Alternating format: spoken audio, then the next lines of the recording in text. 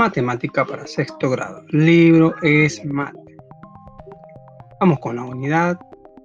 Siempre la unidad 1. Y el tema 3.9, el cual se titula, vamos a ver, relación entre el multiplicador y el producto. Vamos a ver qué nos dice. Recuerdan, estamos en nuestro cuaderno de ejercicio. Nos vamos a dedicar exclusivamente a hacer ejercicios de matemática, claro. Así que vamos a recordar algunos temas anteriores al 3.9. Tenemos un, un entero, un 16 por 9 catorceavos por 8 quintos. Y encontramos que podemos resolver. Vamos a resolver primero esto. Vamos a convertir la fracción impropia. 6 por 1, 6 más 1, 7. Y tenemos. Así que nos va a quedar 7 sobre 6. 7 sobre 6 el 9, el 9 14 sobre otro lado. Y vemos que se puede simplificar. Y tenemos a 7 le podemos sacar séptima y a 14 también. Séptima de, de 7, séptima de 14, 2. El siguiente le podemos sacar tercera. Tercera de 6, 2. Tercera de 9, 3. Multiplicamos 1 por 3, 3. 2 por 2, 4 trasladamos el factor siguiente para acá y, realizamos la operación. Y tenemos que se puede simplificar siempre. 3 cuartos con 5 octavos. Así cruzado. Cuarta de 4 este tiene cuarta 1 cuarta de 8 2 y procedemos a multiplicar. 3 por 2 6 1 por 5 5 tenemos una fracción impropia. Lo dividimos 6 chocolates entre 5 niñas, le toca a cada uno para que ninguno se enoje. Cada le tocaría uno. 1 por 5 es 5. ¿Cuántos chocolates nos sobraron? 1. A 5 le falta 1 para llegar a 6. Así que este número mixto va a tener un 1 como numerador y denominador sería 5 como entero. Se lee un entero, un quinto. Esto no queda de razón. Siguiente tenemos 3 cuartos por 4 quintos por 5 sextos por 6 séptimos. Encontramos que este sí, vamos a operar primero estos dos de aquí en medio. Ponemos 3 cuartos por 4 quintos por 5 sextos lo encerramos en paréntesis. Vamos a factorizar por 6 séptimos. Y notamos que esto se le puede simplificar.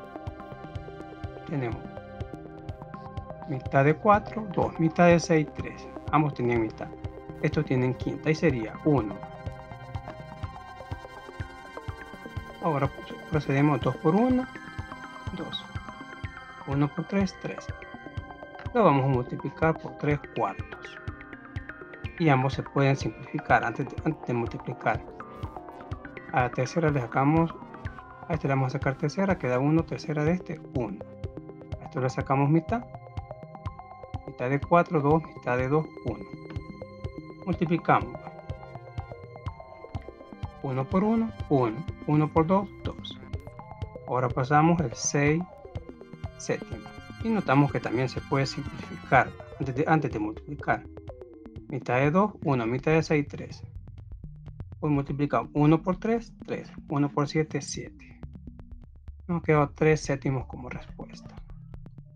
Siguiente ejercicio.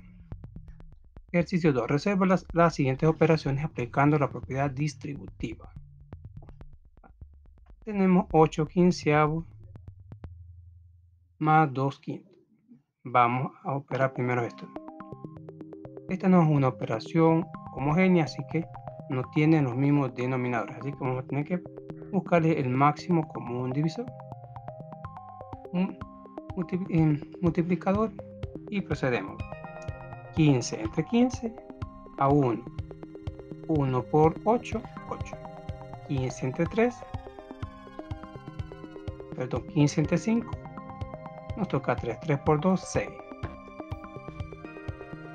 Ahora sumamos los de aquí arriba, 8 más 6, 14. El denominador sería 15. Lo pasamos para acá y seguimos con el siguiente factor que nos hace falta, 3 cuartos y se pueden simplificar antes de proceder. A este le podemos sacar mitad, 7. Mitad de 4, 2. Tercera de 15, 5. Tercera de 3, 1. Ambos tenían tercera. Multiplicamos 7 por 1, 7. 5 por 2, 10. Respuesta 10 décimos. Seguimos. Ahora tenemos 7 cuartos por 2 enteros menos 2 séptimos. Vamos a primero a trabajar esto. El 2 lo vamos a, hacer, lo vamos a dividir entre la unidad. 2 sobre 1 menos 2 séptimos. No es una operación homogénea, así que la sacamos el máximo común multiplicador y es 7. 7 entre 1 a 7, 7 por 2, 14. 7 entre 7 a 1 por 2, 2. Acá hoy hacemos la resta.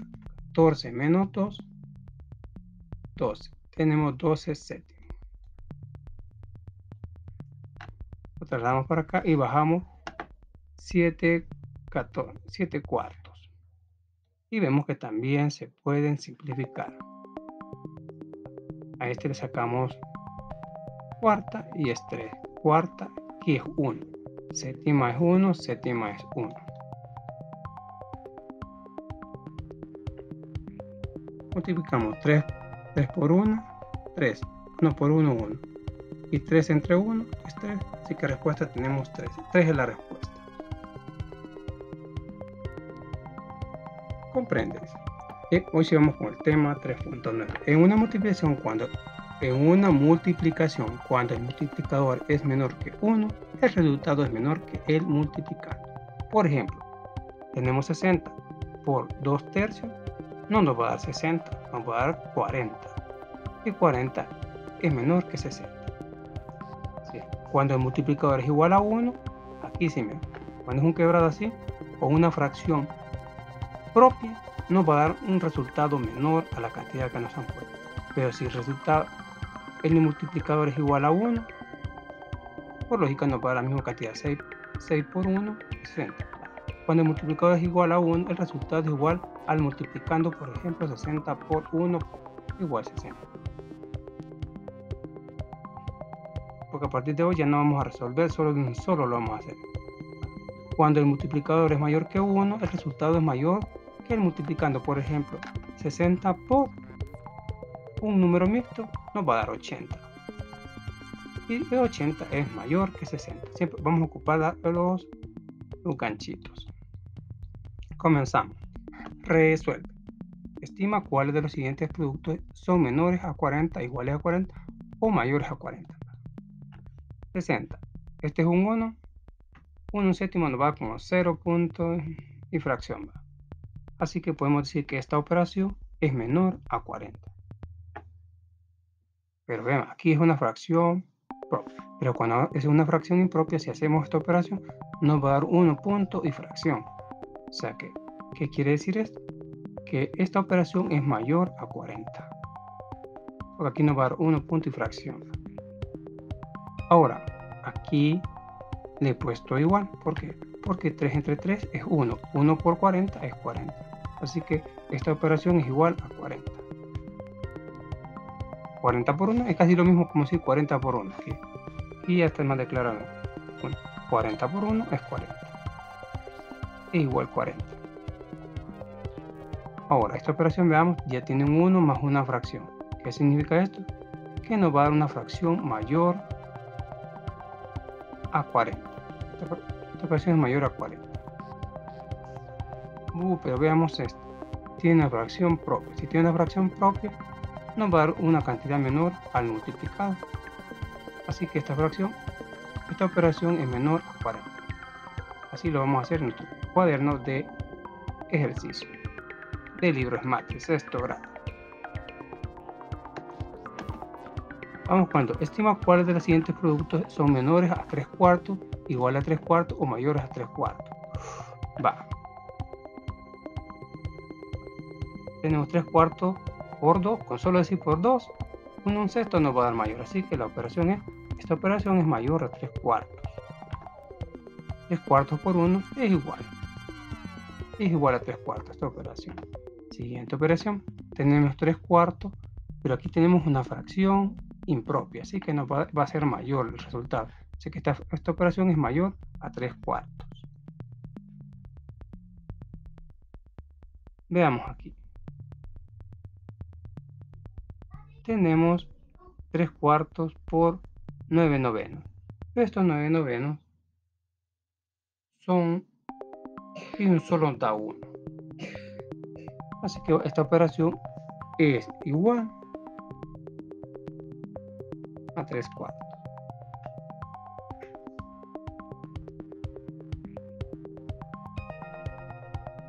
Siguiente operación, tenemos 3 cuartos por un cuarto.